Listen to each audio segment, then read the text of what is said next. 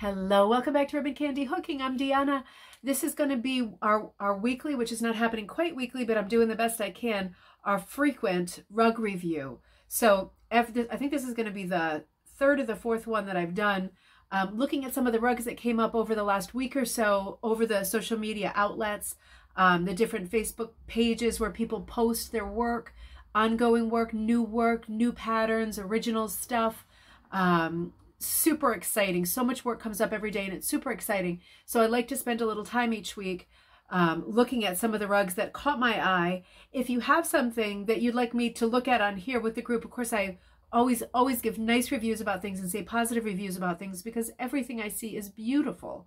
Um, so there's, there's no, there's no otherwise, but I'm going to do about maybe six or eight rugs tonight and look at some of the sources, the places where they came from, and not just the rugs themselves and the maker of the rug, the hooker of the rug, but also the pattern makers and where you can find supplies. So we're kind of embellishing this whole um, project to show you some extra stuff, not just the rugs themselves. So let's get started. Okay, I think I am sharing my screen. This is going to be our first rug for the uh, for the night.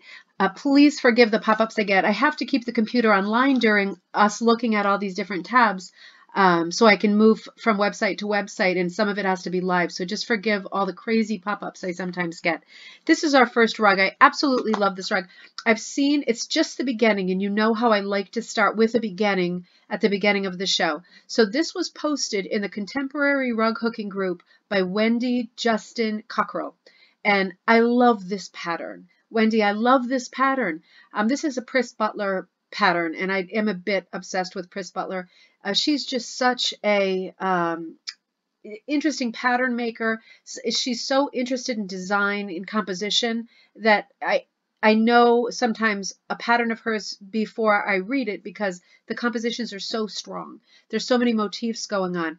Now, this one is called the Quilters, and you can see there's like the little pumpkin patch. Wendy's already evolving the little pumpkin patch. It is so festive for this time of year. This is a classic composition. What is not to love here? This is so country, so folk, little bit of Grandma Moses, um, like a modern Currier and Ives. It's just a beautiful composition. If you look, Pris Buttler has written a lot about rug hooking as well. Um, and she, she has spoken quite a bit about the breakdown of a composition because whether you're talking about rug hooking or painting or any kind of art, music, composition matters. And sometimes you get away with not having a fantastic composition because you compensate in other ways uh, with color or some kind of new uniqueness. With this pattern, uh, this is so solid. This is what's called an S pattern. And if you look at it, you can dissect patterns and put them into certain categories um, so that you know in your head interesting, curious, this is why it's successful because it's an S pattern. So when you're when you're looking at it, you see that the action happens in these places. Up on the hilltop with the sheep, over at the house, there's a cat on the roof. It, your eye goes right over to the tree where there's two chickens. And then you come to the central motif, which is the quilters that it's named for. You come to the pumpkins, and then you come back down to the woman sitting a ways away from the table with two more chickens your eye just goes from one thing to the next. And it really is um, the S, right? If you're seeing where all the motifs are, the field of sunflowers right after the house, it really brings your eye down. And it's extra stuff too, like the sheep on the hill. It's like a fair, it's like a nursery rhyme up there. Then the little cottage. Everybody wants to live in this exact house. And then it brings you out to the sunflower fields, and then it brings you down to an apple tree. It's not like this tree or the other trees. This is an apple tree, so this is something different again. And over to the quilters, which is the central motif. Composition matters. It matters a lot. I love this. Wendy, I can't wait to see the way that this evolves. This is such a great piece. I've seen this pattern so many times, but I can't remember if I've ever seen it done. So I'm really going to have my eye on the Contemporary Rug Hooking Group to see if Wendy posts um, posts a bit more of this. I'm so curious to see how the rest of it uh, is going to fill in. It's a beautiful pattern. You're off to a great start. So this is our second rug, also in the Contemporary Rug Hooking group. And this is by Given Campbell. I love your name, by the way. That is so super charming. Um, she says, all done. So we know that sentiment. This is this is a great rug. And wait till you see what else she has for us in this post. Uh, this is what's called a sugar skull. So I'm seeing more and more uh, sugar skull comp compositions now because, of course, we are right on the brink of the holidays and Halloween. And these um, sugar skulls relate to the Day of the Dead celebration. So this is so cool to see these coming to be. They have such a tattoo quality. This one is so colorful. And look at the way that it's hooked. Somebody wrote in the post, I really like the texture of your background. I see diamond shapes that are that really add dimension. Nice job. And yes, how did you get such great curved lines, especially around the chin and the top of the head? Again, nice work. So you can see the diamonds now, right? If you didn't immediately see them, you're seeing them now. And given answers by saying, usually I just work straight, and once the design begins to curve, I follow the diagonal punches um, with diagonal punches. So she, if you've ever done needle point, not needlework, but needle point, you know there is a pattern uh, to doing it that is important to get a certain look, to get the straight canvas and not have it pulling on the bias. This is the kind of thing that Given is doing here. She's being really thoughtful about filling in the background. This is not willy-nilly times. This is really thoughtful. You can see even in the eyes, there's a lot of texture and movement in the eyes. Um, and it looks like there's finer yarn being used in the skull itself. And of course, finer yarn, the black, the filigree lines, the diamond on the forehead. This is just a gorgeous um, composition. My favorite thing about it, well, I love the flower on the chin. I love the background, but I love the choice with these flowers around the border, them being kind of a rusty marigold color and then outlined in a blue that's a little different than the background blue. I love it when things almost match. You know, it it adds so much interest. You can you can do matchy match to the background and it works, but this is even better. It's a little bit warmer and it, it's really the same kind of tonal value as the rest of the flower. It's doing a lot for the composition, having that blue, just that one thing, having that blue and the flowers on the border, it's doing a lot for the composi composition. I love the flower on the chin being kind of an indigo purple. It's unexpected. You expect it to be black and you look and it's not. And again, adding interest. These sugar skulls are so neat. I'm just getting into them now because if you watch my coffee time show, the live feed from 11:30 to 12 on ribbon candy hooking, I've been doing a series of sugar skull pumpkins, not skulls but pumpkins, um, with wacky designs, tattooy designs and stuff. And I'm starting to get into it because I started reading about the Day of the Dead and the whole celebration and the idea of sugar skulls. Because I honestly, I was living in Europe for so long, it doesn't come up as much there. And, you know, I, I recognized them by sight, but I didn't know a lot about their tradition. And um, so I was reading about it, and apparently this has been going on for hundreds of years. It's a celebration of the dead, like in, in one's family. So there are tons of traditional methods for making these sugar skulls. They're actually little candies sometimes not, sometimes not edible, but the original idea was that they were little candies made of sugar and you would use a mold to make them. So I'm guessing people buy molds, pass molds down in families. This has been going on, the, the practice of using and producing the little skulls since the 1630s. Um, and the, the edible ones, of course, people can eat and or put on an altar, like our equivalent of a mantle. You'd put them on the altar, and that's called the calaveras, I think. Um, no, the calaveras is the is the skull. Um, the altar is the ofrendas. I don't speak Spanish. I'm sorry. Um, but they would have both large and small skulls. Sadly, the the small skulls always signify like a child. God forbid. Don't even want to think about that. Um, but you know, there is a skull for each family member who's passed, and the family decorates it and puts it up on this altar. And the idea is that the departed will return home to enjoy this beautiful offering of these beautiful, colorful, animated looking skulls. And it really is a wonderful tribute. It's such, it's such a nice idea. So let me scroll down a little bit while the dog scratches a hole through the door to get to me. Let me scroll down because I was going back and forth a little bit with Given and she was telling me more about her stuffy stuffies, all these faces and yeah, and I asked her for some more some more info. She gave me some more detail here. If you look at the close-up of the punching, it's pretty remarkable how good this is. So this, I mean, look at the outlining of, uh, this is, this is really well done. I've been doing a lot of teaching lately on Zoom and people always say, what's, what's easier, hooking or punch? I've heard punch is super easy. Well, nothing is super easy until you really develop a knack for it. And this is obviously like the very high end of punching. This is perfection. I mean, this is this is amazing. You can get there. Anybody can get there, right? Lots of practice. Um, but this isn't your this isn't your first punch job kind of a deal. Given has a website. Um, I hope I put that down in here. Let me see. Yes, www.givencampbell, C-A-M-P-B-E-L, just like you think, dot com. So um, have have a look at that because her work. She's going to try to sell these, I think, from what I understood, make them as pillow kits. I'm not sure if they're available yet, but um, there it is, givencampbell.com. And then look at, she did this one next. You see this one with the hearts? Like there's a rose coming out of his forehead and it's surrounded by hearts. It's like a Valentine, Valentine uh, sugar skull and keyhole eyes. And this is the one she's working on tonight as we record. She's working on this like right now. Um, beautiful one with the skull of the diamond on the head, the skull, and it says notorious. So cool. Given these are so cool. So make sure if you want to check out these sugar skulls, go to givencampbell.com and see what she's got going there. Keep a keep an eye on the contemporary rug hooking group also for her posts because you can see she's got a lot more in the pipeline. So the next drug of the night is by Lin, uh, sorry Lisa Eastman in the woolly rug hooking. So woolly mason jar rug hooking. Did that change its name or am I losing my mind? The woolly mason jar rug hooking. Maybe I'm losing my mind. It seems like it's reading different than in the past. But Lisa writes, look at these, look at these things. I guess these are mug rugs. She writes, I'm hooked on these cute little things. And everybody agreed. These are super cute little things.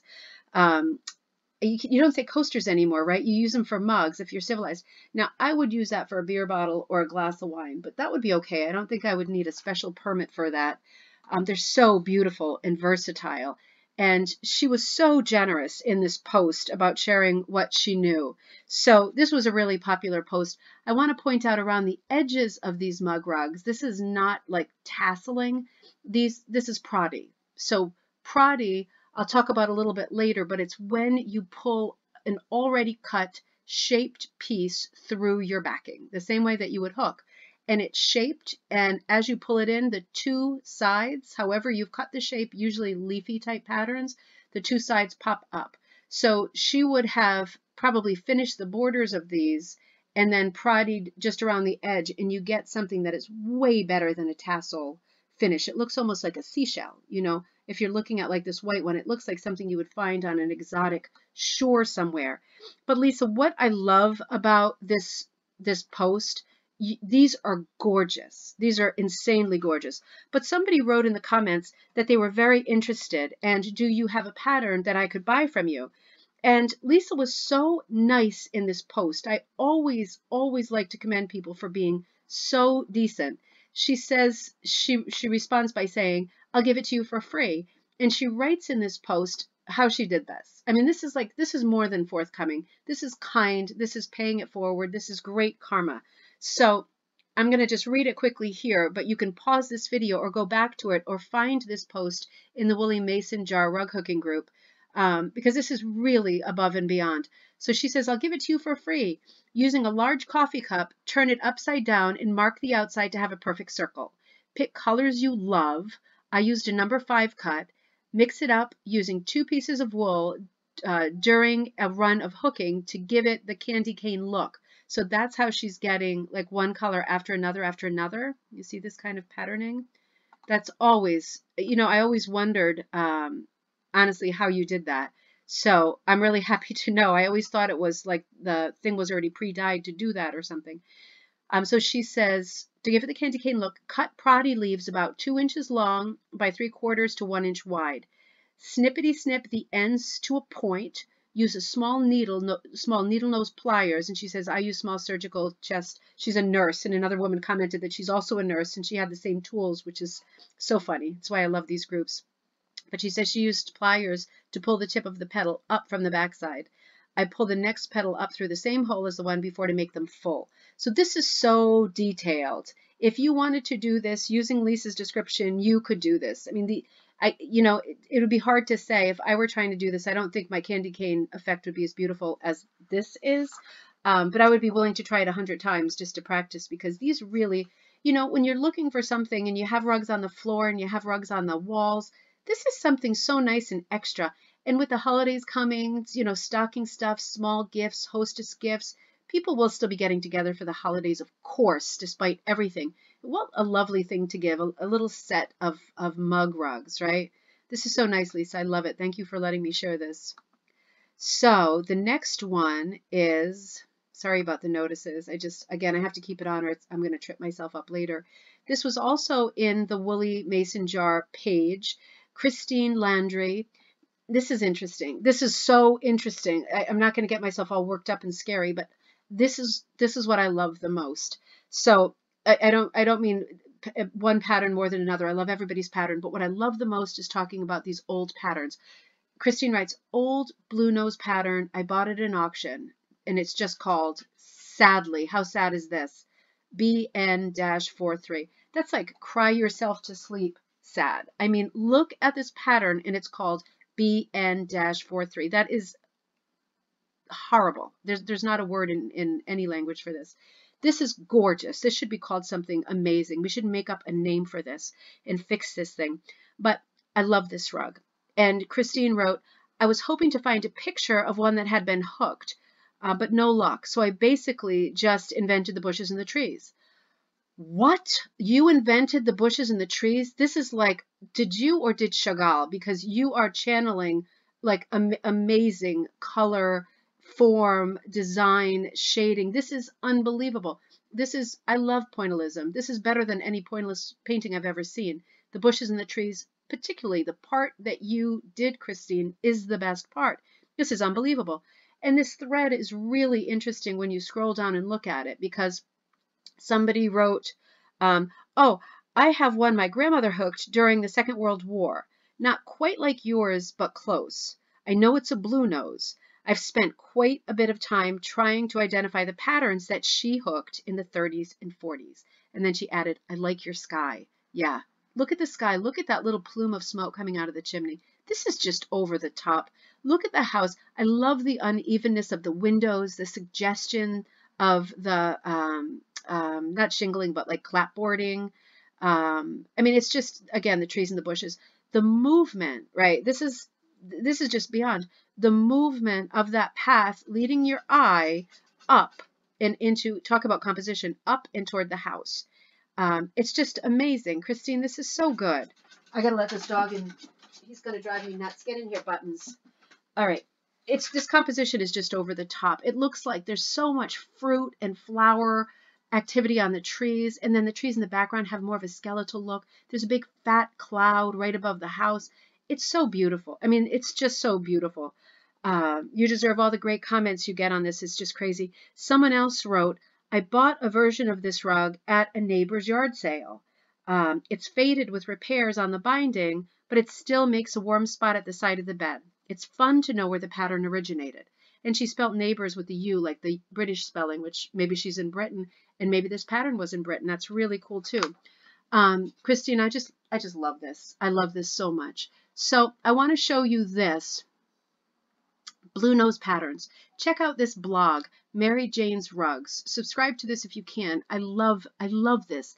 This was put out on September 20th, 2015. Now, let's check this out together. Um, this is a blog. This, this particular entry is about blue nose patterns. So she's saying, we learned a lot about the historic blue nose rug patterns on our trip to Nova Scotia. There are several hundred patterns that were produced, mostly as color stencil designs, by the Garrett Company of New Gla uh, Glasgow, Nova Scotia. They were sold throughout the 1900s across North America and Britain. So that makes sense with the neighbor's yard sale, right? So these are some of the designs that you're seeing. Here are two old advertisements of the Garrett Company. Again, this is Mary Jane's Rugs, the blog. Now, this is the part that becomes interesting. She says the only reason these patterns still exist is because a woman named Linda McDonald bought them in 1998 and took them out of the Garrett's basement in which they'd been sitting folded up and covered with dirt and grime for years and years. She's done a heroic job, that's British too with the N, so this must be a British blog, a heroic job of cleaning and saving the patterns one by one. Some were saved from stencil patterns on burlap, many were just very fragile paper patterns, and it was tricky to clean them up since the colors on the burlap were not color fast. Here's a photo of one pattern cleaned up, but you can see it's embedded with dirt that remains where it's been folded for years. So sure, sure enough, the dirt is there. But my word, Linda McDonald, I have got to Google you. This is crazy. This is so much work. This and this is heroic indeed. Linda owns the Rags to Rugs shop in Pictou, Nova Scotia, and offers these antique patterns both in her shop and online. So as soon as this video is over, let's all of us look for Rags to Rugs Nova Scotia and see if we can find these. I didn't have time before I started recording. I dropped the ball. Um, but here's the link right here, www.rag, you know what? Let's do it. Rags to Rugs. Uh, it doesn't seem to be there. So you know what that means? We're not going to give up. I'm going to find out more about this and we're going to be talking about it in coffee time um, because after Linda put this much work in, we can't drop the ball. This is an amazing blog, and obviously the Blue Nose patterns are amazing. I also want to say, if you are a Blue Nose fan, follower, searcher, admirer, um, and you are struggling with the name of a pattern or finding a pattern, I happen to be at Margaret's shop uh, the other day in, um, think it was Northampton, Mass. Um, I'm going to have to put this in the comments. I think it was uh, Mill River Rugs. I should have this right at the front of my brain because she was the loveliest woman. I did a video tour of her shop there. But in the shop, she had the Blue Nose catalog, like the comprehensive catalog. So I'll put a thing in the comments uh, if I'm wrong about the name of her shop. But she is such a lovely woman, and I'm sure she would be delighted if you're looking for something specifically on Blue Nose to open that catalog and help you out. That's the only place I've seen that catalog, and I, have a search in for it on eBay, and I have for a long time, and it just doesn't come up. So you know you can follow up with this rags to rugs, see what happens here, but also check with Margaret. To be continued on that, okay? So on to our next rug. There we go. That scared me. Okay, so here comes some craziness. Here comes some universe at work stuff. I just died when I saw this. Contemporary rug hooking group, Kathy Hopper. Kathy, I'm just beyond. I sent you a crazy email today and I probably scared you off. I went nuts when I saw this. So she posted this on September 1st, just finished the other day, Swirly Flowers. You know how much I like primitives. If you know me, you know how I do videos and little tutorials on folding stuff in half and creating vases and um, primitive patterns. And I like to talk and read and write and speak about primitive patterns like uh, of an age. This is the most awesomely successful, colorful, electric, alive primitive pattern I've ever seen. I've just never imagined anything like this. It makes me feel like I have been fooling around for a long time. I, I just, I can't, um, you are such an artist, and I know that already by looking at your page and stalking a little bit, but you are such an artist. This is like, this is like primitive, you know, super folky meets fireworks. The colors are insane. I mean, have you ever seen anything like this? It's it's so good. It's so loose. You know, it still has that primitive feel, but it's so loose and it's so colorful. Somebody wrote in the comments, I absolutely love this rustic, funky rug. I'm so inspired.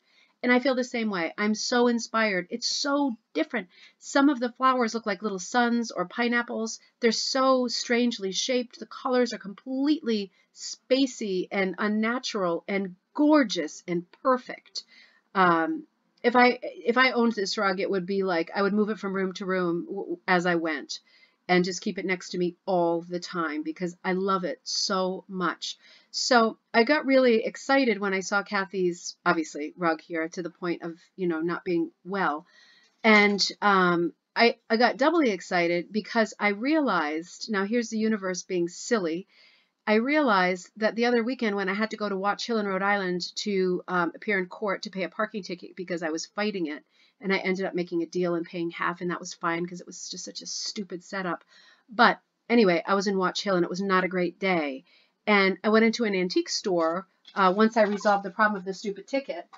And the woman who ran the antique store right on the main street in Watch Hill, it's actually Westerly at that point, um, in Rhode Island, she, I bought some rug hooking stuff, and she said, oh, you know, my niece, um, I think it was niece, I don't think it was cousin, I think it was niece, rug hooks and lives, I want to say, like more northern uh, New England. Oh, maybe you know her. And yeah, the, you know, rug hooking is a big world. I probably don't. And she pulled up a profile on Facebook, and it was Kathy's. It, I didn't get that until tonight, like an hour ago. and she scrolled down, being a friend already, being a family member, and I saw the most beautiful paintings and hook rugs that I think I've ever seen.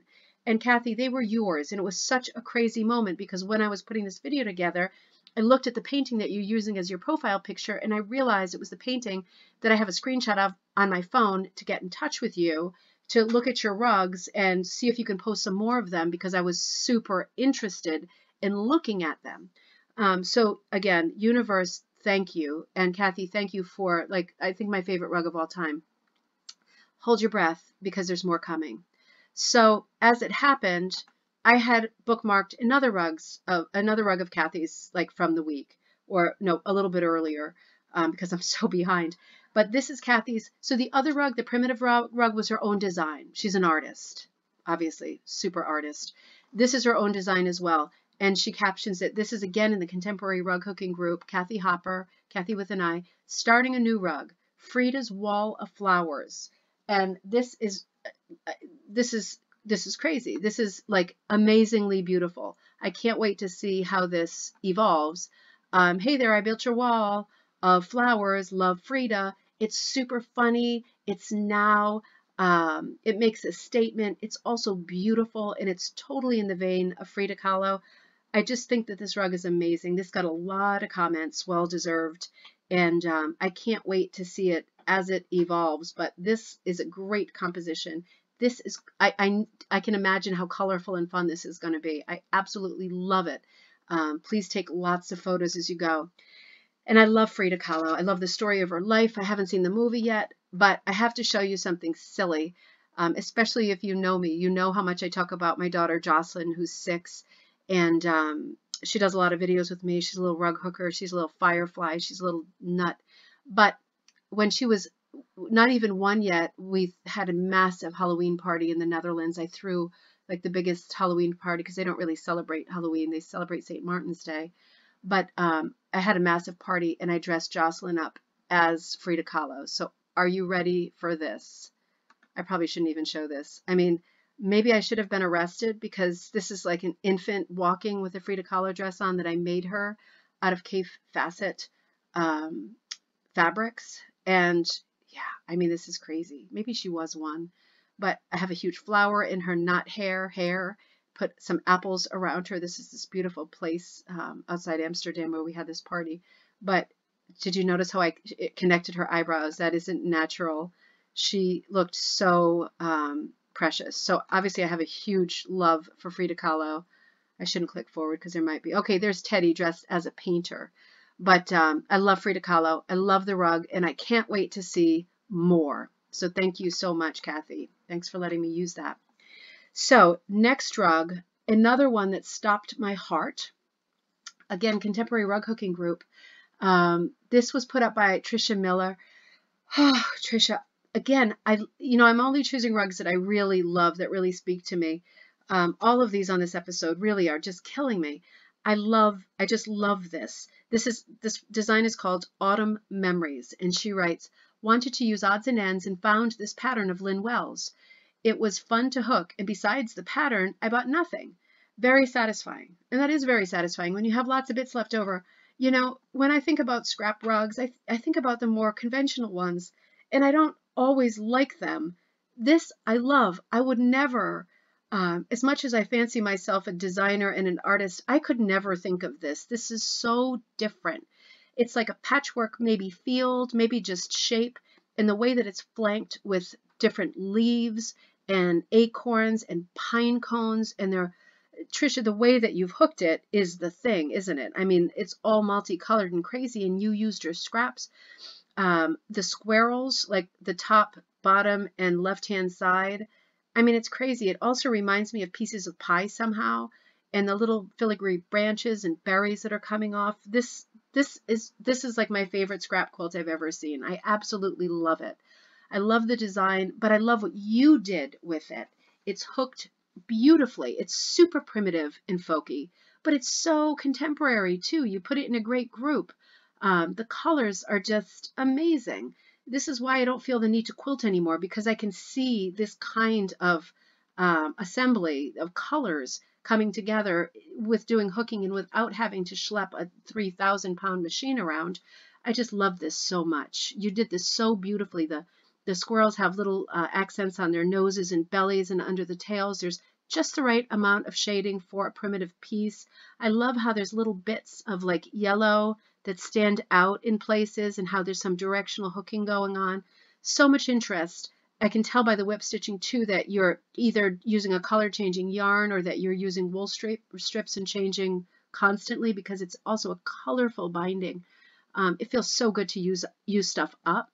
And I mean, this could not be any more successful. This is this is perfect. If you had had to buy everything and pay, you know, through the nose for everything, it would still be worth it because it's that beautiful. But I want to share this designer with you a little bit because this is Trisha. The way that this looks is Trisha. If, you know, I, I could buy this uh, pattern and be real disappointed with the way it came out. Trisha did this pattern to look like this, but um, the designer is amazing and her patterns are available on the website I'm sure you know called the Love uh, I love rughooking.com. And this is her page. This is Lynn's Primitive by Design page.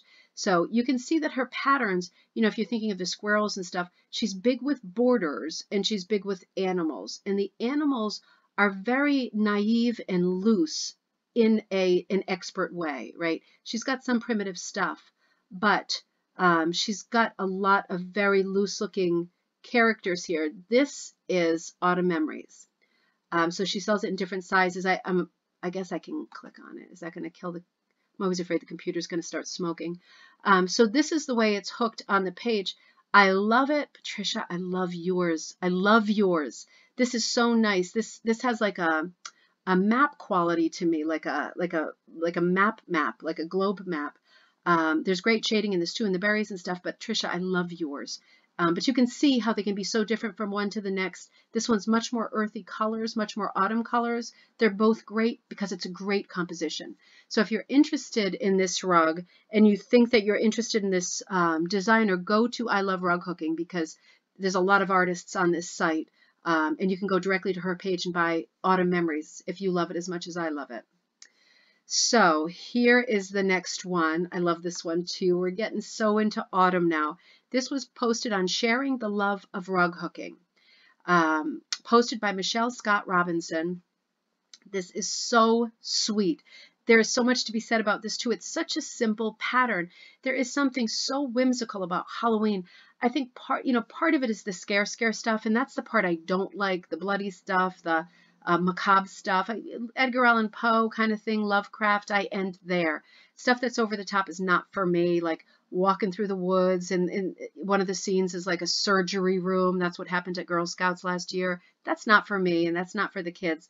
Um, I like the part of Halloween that looks just like this. This pattern is by Winter Cottage Studios and it's called Jack's Crow.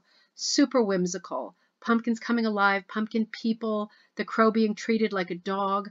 Um, just the simpleness of it, the scarecrow quality of it, the starkness of it. It's colorful, it's fun, it's it really speaks of the season and childhood.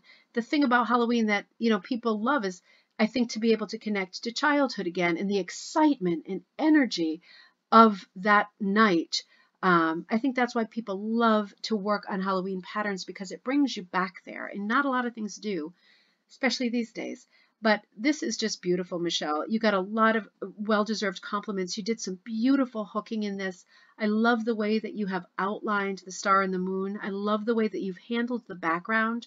Michelle got a ton of um, comments about the background. The sky is just so well done, the dark and the light blue. And somebody wrote, um, what is your blue in the background? Because honestly, that's the thing that got me too. I thought, wow, those colors are close together, but not exact so nice again when things are close together but not exact. Um, it adds so much interest. It's an easy trick. And she was nice enough to respond by saying, It's this, I think I found it. It might not be exactly the same, but she responded by saying, It's this reversible, in other words, two sided wool. And I found this one on Etsy that really looks like it. Uh, it says corduroy blue reversible 100% wool.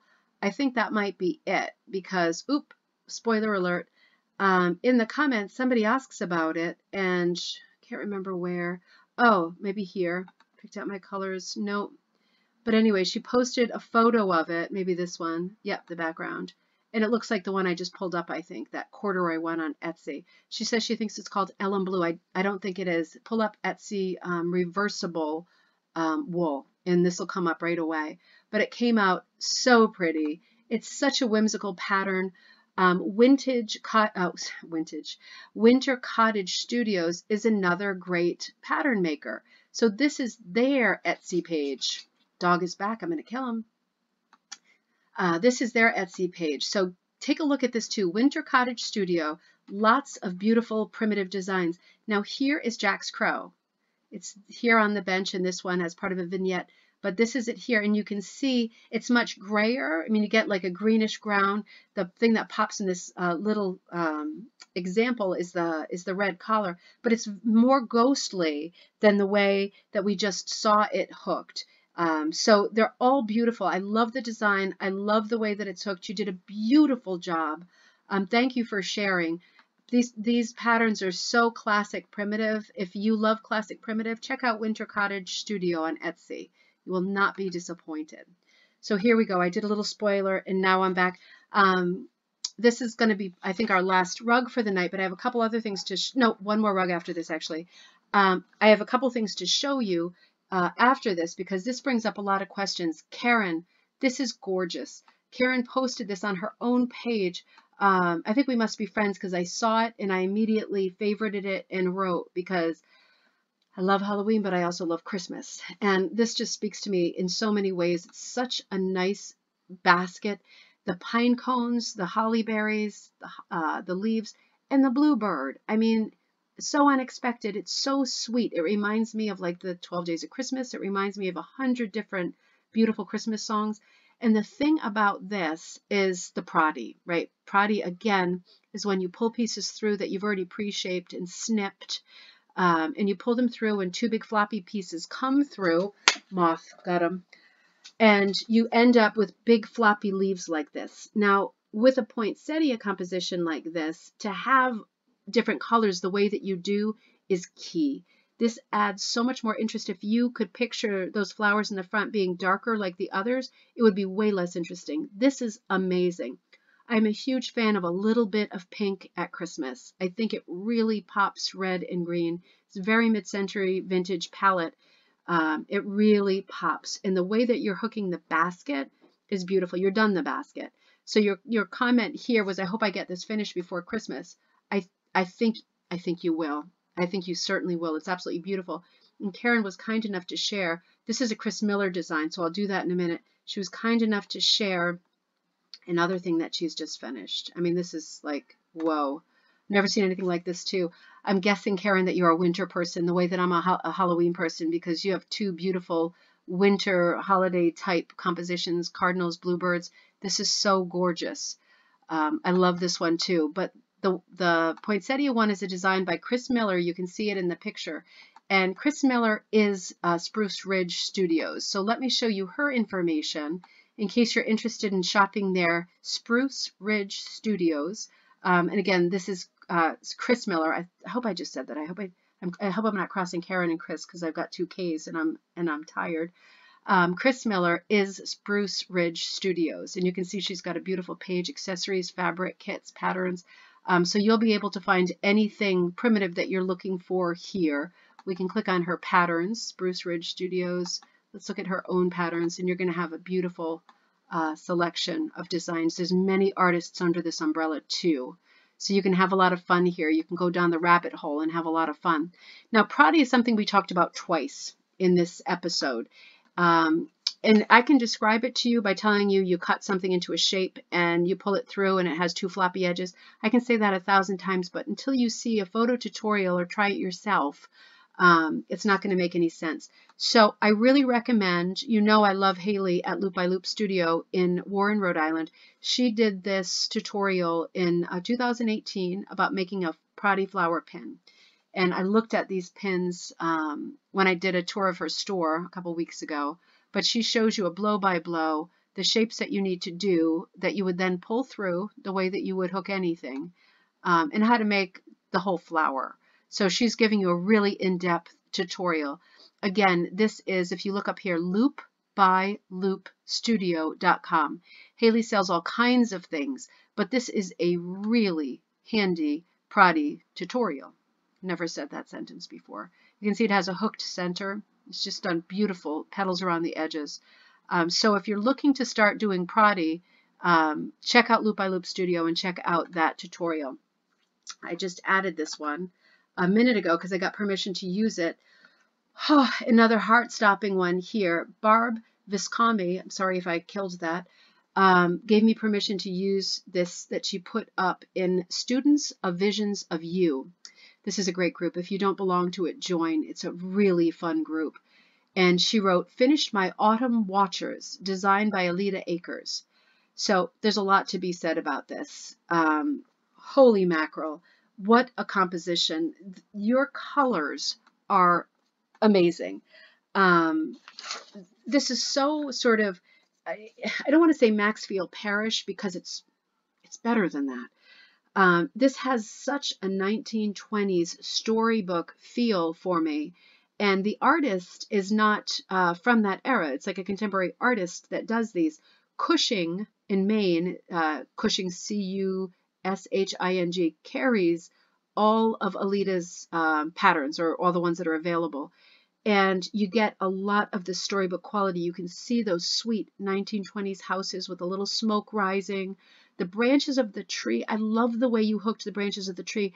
You could have gone whole hog crazy and made them dark like the branch on top, but the branches that the crows are sitting on, or ravens, um, are understated. And it, may, it really brings your eye to the moon into the center of the composition. And again, talking of compositions, you've got a lot of horizontal movement, but then that giant circle in the middle that's broken by the main motif, which is the, the crows.